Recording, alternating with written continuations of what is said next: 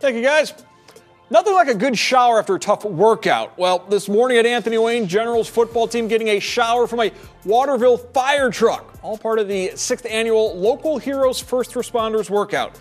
Team goes through many of the same drills firefighters train with. It's a chance to break up the monotony of off-season training and have a little fun, but most importantly, connecting with the first responders we get to be outside, we get to experience the beautiful weather, and it's great environment for the community and our kids. And you just see a bunch of different kind of attitudes and compassion between players, community, coaches. It's a fun day. It is a fun day. Keep going, keep going.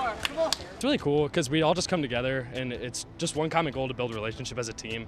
And I don't know, it just overall makes us stronger. I feel like, and it really is a better way to to get the young guys involved because they don't like like they're holding bags for us during summer, but it's really a nice way to get them involved, like with the actual physical stuff.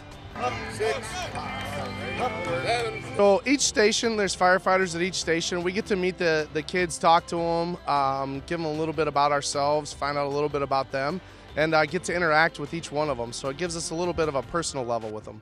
They were awesome. They love being here. They put a ton of effort and help into this as well. Um, it's just it's a special day. I actually think we get more out of this, believe it or not. But uh, I do think the kids benefit. But I think we get a lot more out of it, getting getting out of the office and doing something fun for the community. Definitely, because you know, we got the 12th man. That's our community, and these guys are always giving back. They're working 24-hour shifts, just helping out our community. So it's fun to be able to work and get to know them as well because they're always giving back to our community and our football team.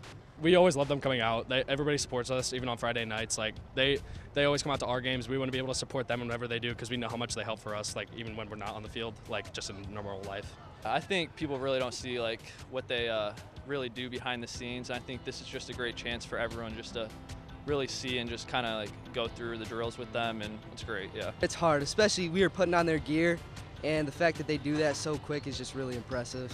Uh, the favorite part is probably just uh, all coming together as a team and just having a great bond with each other today and just uh, coming closer. Go!